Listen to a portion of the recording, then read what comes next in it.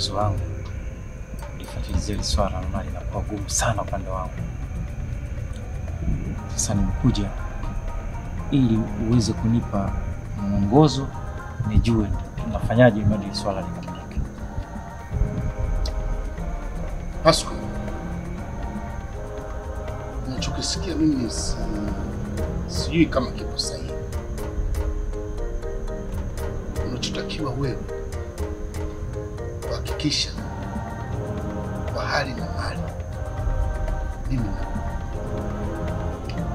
Ya, ni kweli nalitambua analitambua nalitambua sana, lakini mkuu, kulingana na kesi jinsi ilivyokuelemea ngumu sana. Halafu isitoshe serikali yetu sasa iko makini sana. Okay, sawa. Mimi sasa nitatumia pesa yangu. Ninachohitaji na ukinifanikisha nitakupa nyumba yangu ya Mbezi Beach.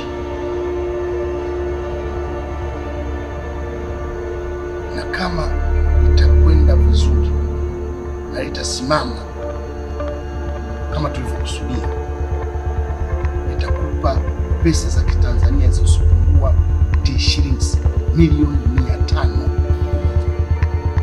Nafikiri kwenye pesa mkuu, hakuna lishindikanalo chini ya jua. Nitajitahidi kadri ya uwezo wangu za ili niweze kulifanikisha hili jambo. Naomba niamini. Endelea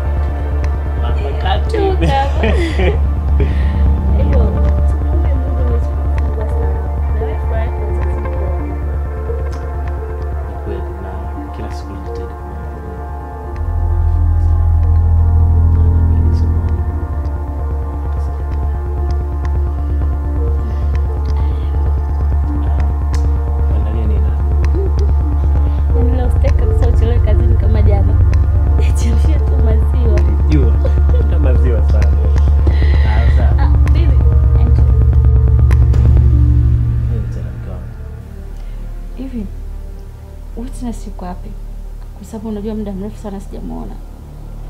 Yuko sawa? Witness haiko sawa. Witness sasa hivi yuko Marekani kutokana na matatizo ambayo alikuwa ameyapata, akaona ni vyema aende Marekani kupumzisha akili. Wewe. Na imekuwaje mpaka Kumbuka ucheshi wake. nimekumbuka. Nenda huko.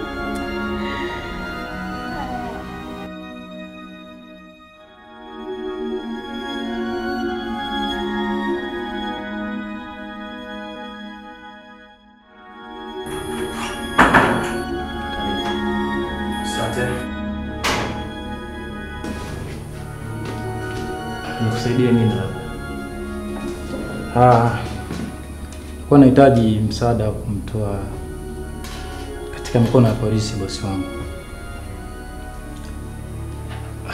Labda ingekuwa ni vizuri ukajitambulisha wewe ni nani, unatoka wapi.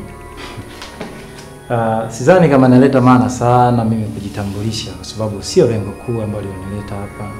Yaani lengo kuu Mr. Bavo, tuzungumzie juu ya issue ya bosi wangu. Natumai ni msaada mkubwa sana wa kulikamilisha hili. Nashindwa kukuelewa. Kazi yangu na nakuwa na kesi nyingi sana. Sasa nashindwa kuelewa huyu mtu wako ni Uh, Mr. Bama. Bosi wangu umemkamata mwenyewe kwa mikono yako? Kuwa serious Bama. Okay. Sikia nikwambie. Yule mzee siwezi kumwachia kirahisi rahisi kama unavyofikiria. Amegharimu maisha ya watu wengi sana.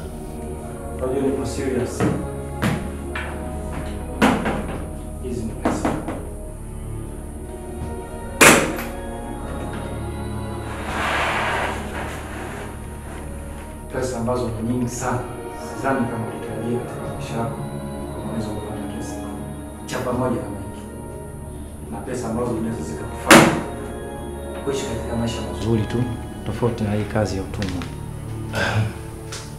Sikia nikwambie, hizo pesa zako haziwezi kurudisha uhai wa watu ambao wamepotea na huyo mpumbavu wako, si unielewa? Kama pesa zinaweza kurudisha uhai wa watu, basi mimi nitakusaidia hilo swala lako, ila kama haziwezi, kaa ukijua hata siku moja sitoweza kumsaidia mzee wangu. Baba, hakuna lishindikanalo chini ya jua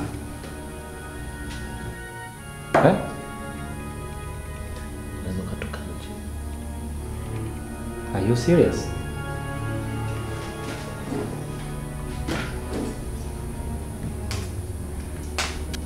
Sidhani kama upo sahihi sana kwa maamuzi hayo uliyachukua, kwa kuwa wewe ndio sababu ya mzee wangu mimi kuingia kwenye mikono ya serikali.